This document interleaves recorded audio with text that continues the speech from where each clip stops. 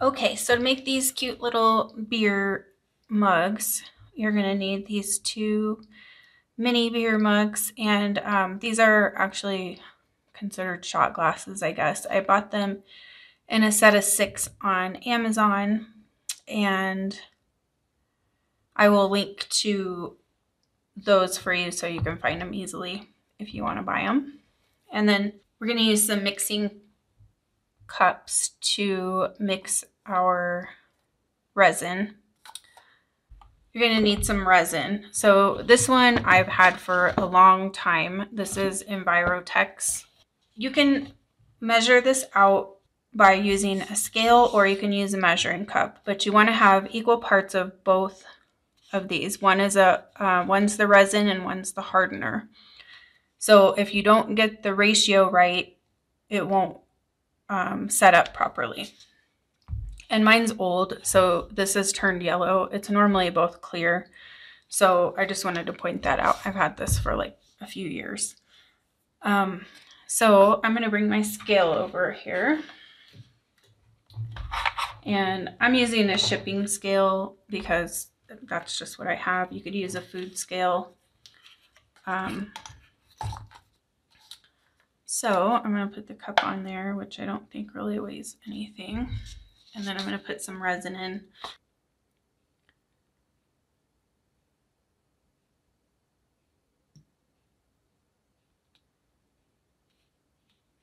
So I have 0.8 ounces for that one. And then I'm going to add 0.8 ounces of this one. So I'm going to go ahead and do my second one as well. We're going to make two colors. We're going to do a green beer for St. Patty's Day and just a regular colored beer So this one I did a little bit less because I think that other one is going to be too much. Okay, so now we need to mix these up so that it's all um, incorporated. So I think it says to mix for two minutes. Now, typically when you're mixing resin, you don't want a lot of bubbles in it, so you would mix it really slowly. But because this is beer and we wanted to have bubbles in it, I'm actually going to kind of go crazy with the stirring and try to get some bubbles in there.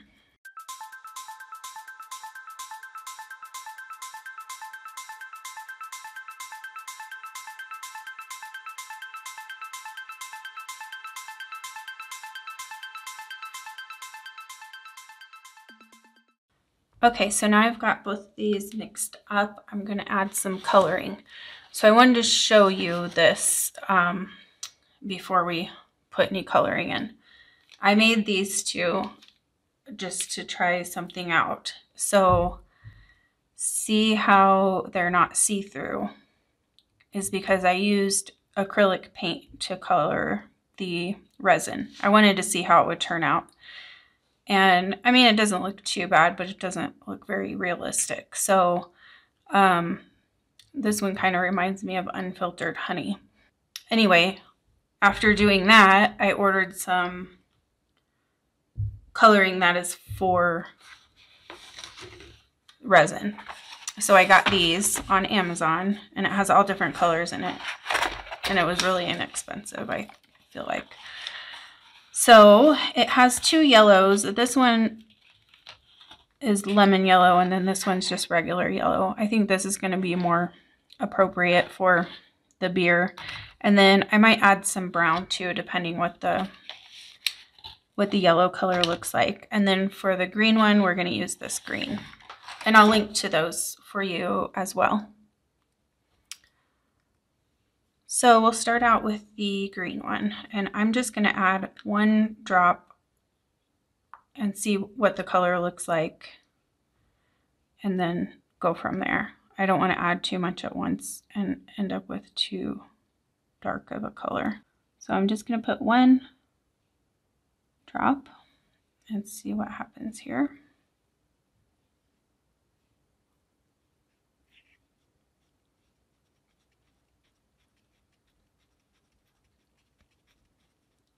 So this is going to make it a see-through color. So it's actually going to look like a liquid beer. Okay, so I, I think I'm going to add one more drop of green to this. And then I'm also going to add some yellow, I think. Because green beer is kind of a little bit like a yellowy green color.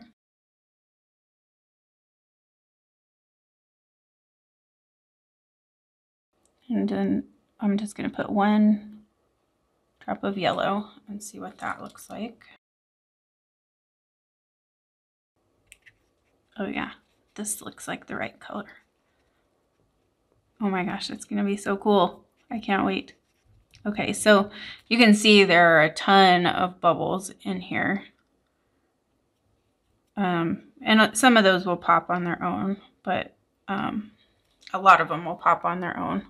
Okay, now let's do the regular beer.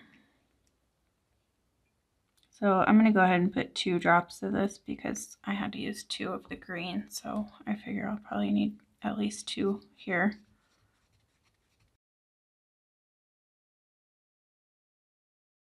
Okay, and then I'm going to add some brown.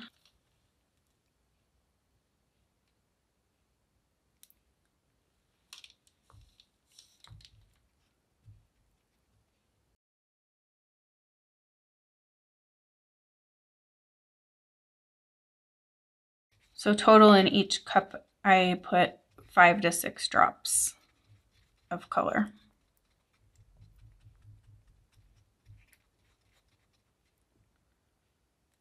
Okay, so now we're going to put them into the little beer mugs. So when you pour this in, you don't want to get it on the sides of your mug or it's going to be like impossible to get it all off. So you just want to pour it down right into the center.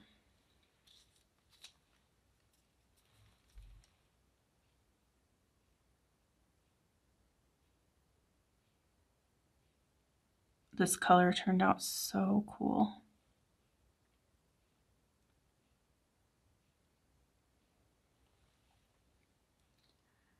So I don't want this to be all the way to the top because I want to have some room for the foam. So I'm going to stop there. Just be careful not to get it on the side still when you pull it away. So there's that one. And see, it has a lot of bubbles, but a lot of those will like rise up to the top and pop. So, you know, it has, it'll still have some bubbles in it, hopefully enough to look realistic. Okay, so I'm going to put that one aside and then let's get the regular colored one.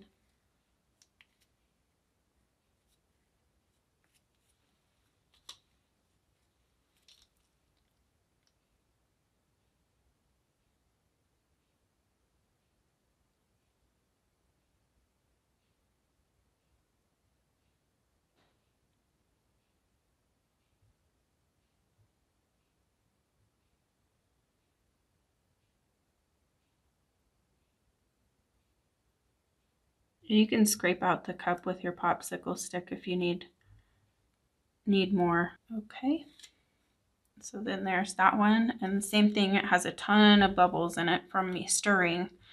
But those, a lot of them are going to rise to the top and um, pop. So hopefully it'll just look fizzy enough. I have those ones that I had already made. And I want to show you some options for the topping for those. Okay, so one thing that I tried was, this is polyfill, the stuffing for pillows that you can buy in a bag. So I, um, you could use this. The thing with this one though is it pops up. So you would want to like put some hot glue or some kind of glue so you could like press it down so that it looks realistic. But I just wanted to show you that as an option. That's like a super easy way to make the foam. And then another way to do it is with the cotton ball. And this actually turns out really cute. I was surprised at how realistic this way this way looks. Um, so just like pull it all apart so that it's fluffy. And then you can just stuff it down in there. And you could also glue that one in um, if you want to. But there's that one.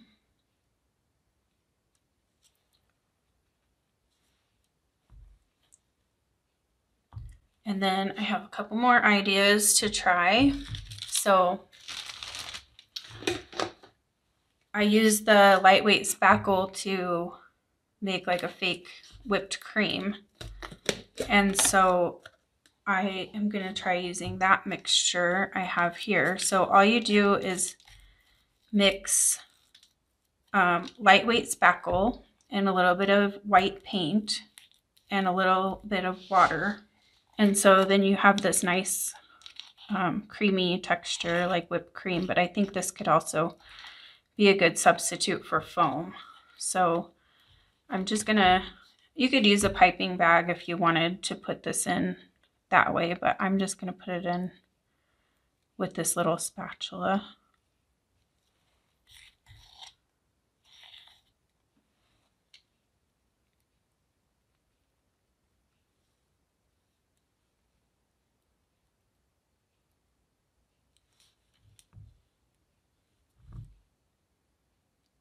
And then just press it around until you get it looking how you want.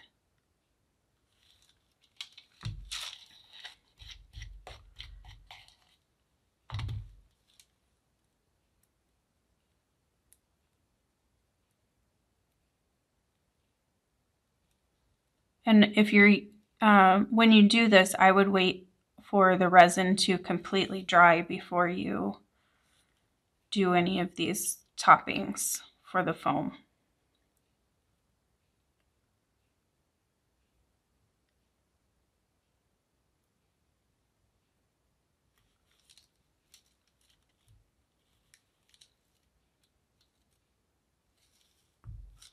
So there's that one.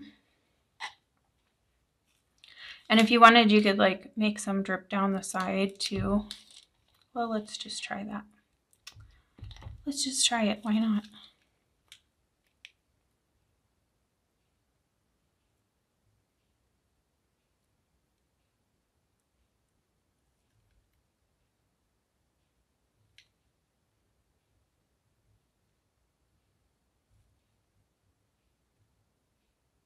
So like some is dripping down the side.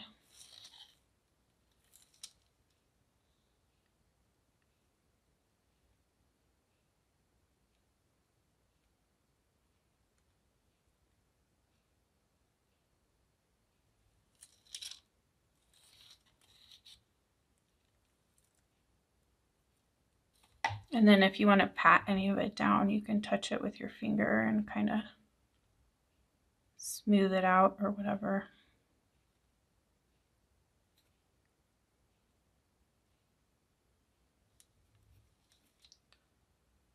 So there's that one.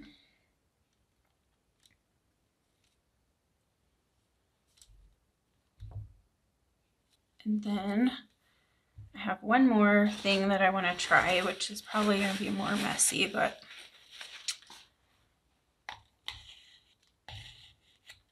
I just want to give you some options that you can do. So I have this Loctite um, gap and crack filler. So this one is white. Um, a lot of the ones I've seen at the store are like a weird yellowy orange color. I wanted to get the white one to try for this because I want it to look realistic. Okay, so I'm going to spray this right in here.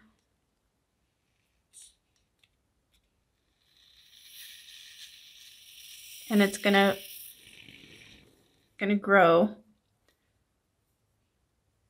so I don't want to get too crazy with it.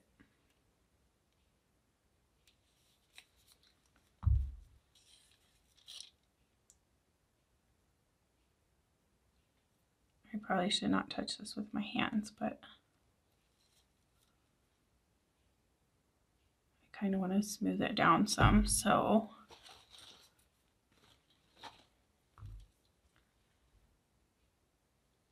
I'm going to use this spatula to do that.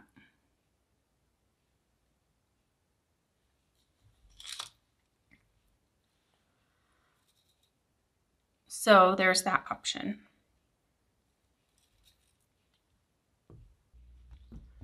I'm popping in from the future here. I wanted to show you how to trim these down in case your gap filler gets crazy out of control like this. It expands so much that it's hard to get just the right amount in there. So I wanted to show you how easy it is to trim it down and make it look uh, realistic.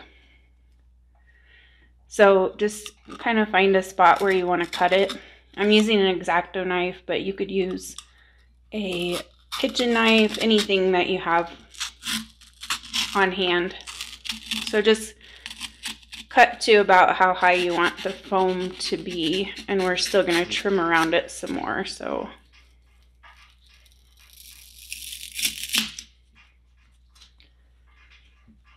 So then um, it's going to look like that, like straight across the top. So you want to, you know, shape it up so that it looks like real foam. So kind of round out the corners and uh, give it a little bit rougher texture.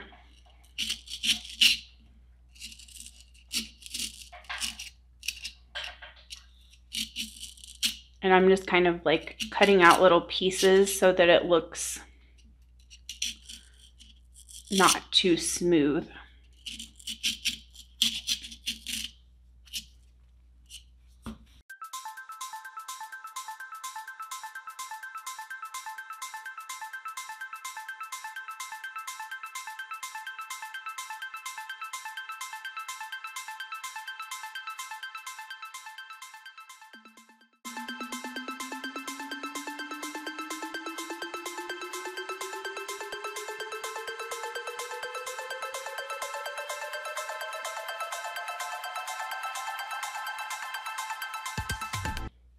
And there you have your green beer.